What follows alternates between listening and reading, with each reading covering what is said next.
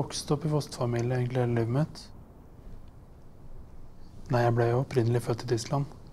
Så flytta vi til Norge i 2007. Etter at jeg har møtt familien der et par ganger, så fikk jo barnevernet tillit. Så dem dro jo, da. Så jeg fikk være med lillebror alene. Det var jo helt nydelige tider. Han er jo ja, egentlig alt man kunne ønske seg i en bror, da.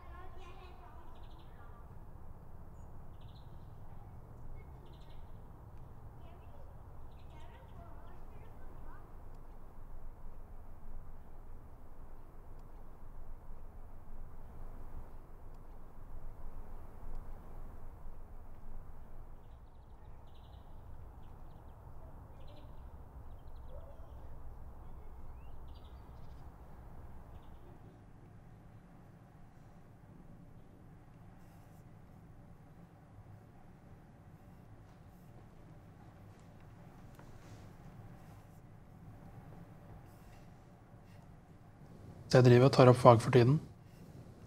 Det gjør jeg rett og slett fordi jeg har lyst til å studere paramedic. Om det tar ett år, som det gjør nå, eller om det tar fem år, det spiller ingen rolle for meg. Paramedic er nok drømmestudiet fordi det handler om å hjelpe folk. Men også bare være der når folk trenger det. Og jeg har lyst til å bidra og redde liv. Eugen, eh, kan jeg bare låne lykta? Ta det der selv. For jeg tenker Den sida her kan vedkommende ha gått inn på. Eh, Jeg tenker vi tar oss en tur til den brygga. Jeg har ingen tegn til person i vann eh, på eh, Stampetjern nå. Kan ikke utelukke videre, så ønsker assistanse fra lufta over. Hva tenker du? Nei, bare holde øynene oppe og vente på luft, så kan de ta et søk for oss. Jeg tenker egentlig det, altså. Sjekket i sprekkene i stad da vi var der sammen. Eh, Ingen tegn til verken person eller gjenstand eh, under over.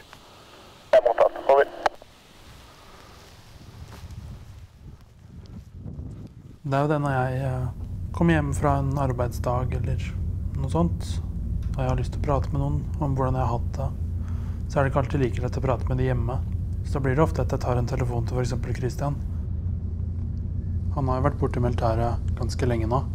Selv om det kanskje ikke er så lenge på papiret, men det føles i hvert fall som en evighet. Spesielt når man er så gode venner som man er.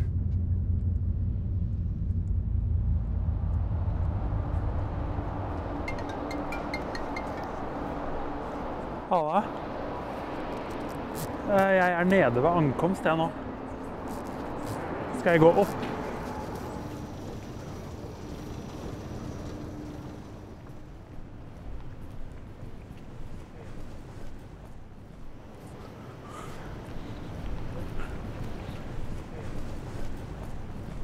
Nei, ja. Å, fy faen. Hallo. Går det bra, eller? Ja, ja. Du klarer over at det er tungt å bære? Jeg tar den, da. Nei takk. Nei, jeg, jeg har ikke sjans. Du har ikke sjans på den der. Snakker om den var tung? Det går ikke an å gå ned der. Nede? Der borte. Ja. På korttidsparkeringa. Uff. Ja, det skjønner jeg noe jævlig godt. Ja, du har jo egentlig det.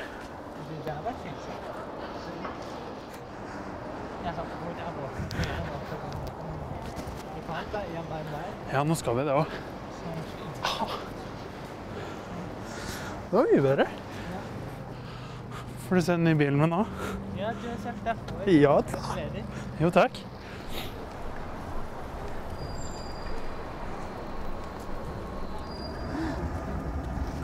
Uh.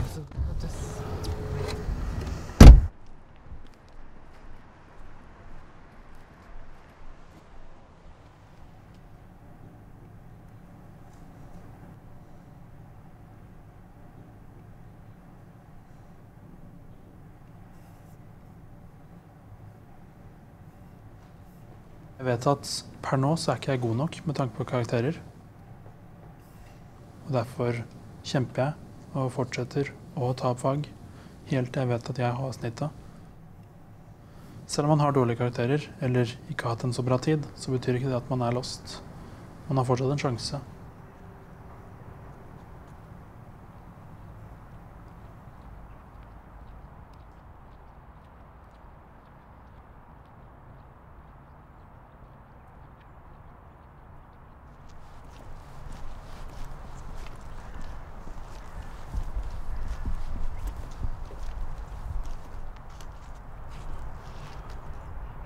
Halla.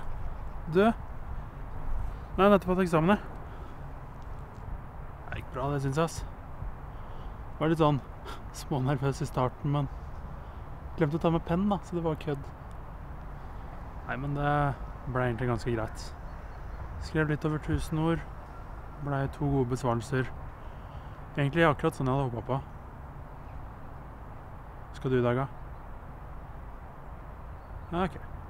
Men kan ikke ta finne på noe i helga? Jo. Fikser det.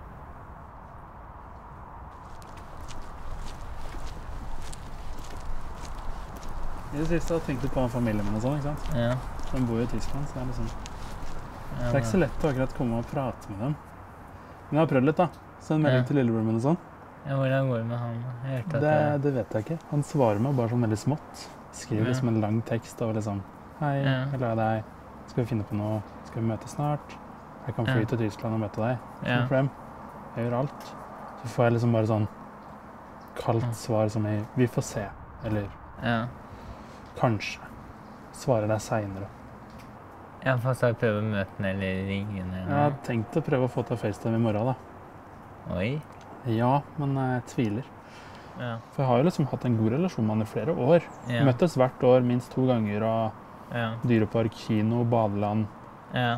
Men jeg tror liksom etter det badelandbesøket så endra alt seg. på en måte. For Ja. jeg var med han på det badelandet, og så skulle skifte. Ja. Så tok han av seg eh, T-skjorta. Det var liksom masse blåmerker og sånn. Ja. Så jeg mistenker liksom det verste. Ja. Og da Da konfronterte familien med det, da, så fikk jo jeg et slag i trynet òg. Av han faren. Ja. Altså faren til lillebror. Det er sånn, det er bare så trist, for jeg, jeg hører aldri noe fra han lenger. Det er jo Ja. Jeg har liksom ikke snakka med ham på sånn fire år. Fire-fem år. Jeg har ikke sett ham på fem-seks år. Men er Sånn. det veldig Er det veldig sånn vil ikke prate? Eller er det veldig sånn Det er det jeg ikke vet. Men jeg tror det er liksom faren hans da, Ja. som liksom hater meg. på en måte.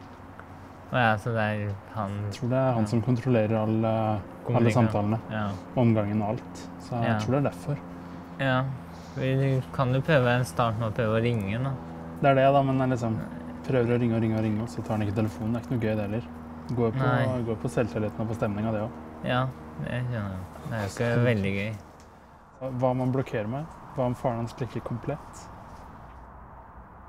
Altså, Ja, det er jo Det er jo ikke lett.